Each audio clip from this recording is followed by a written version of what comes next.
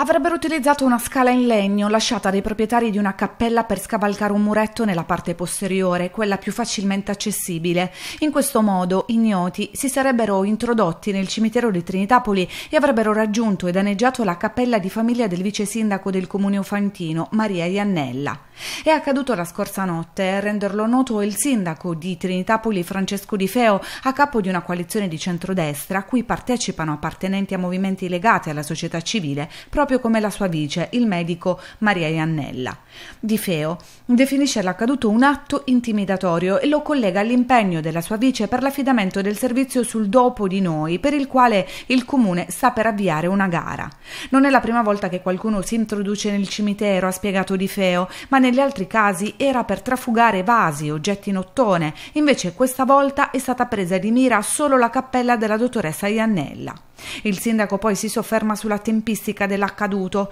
il fatto che proprio ieri Annella abbia pubblicato su Facebook un video col quale promuoveva l'affidamento di quel servizio importantissimo per le persone con disabilità e malattie gravi, che con la morte dei genitori hanno bisogno di essere seguite e curate e che questo sia al centro di una pesante polemica con le opposizioni, ha aggiunto, è una strana coincidenza, speriamo sia fatta chiarezza.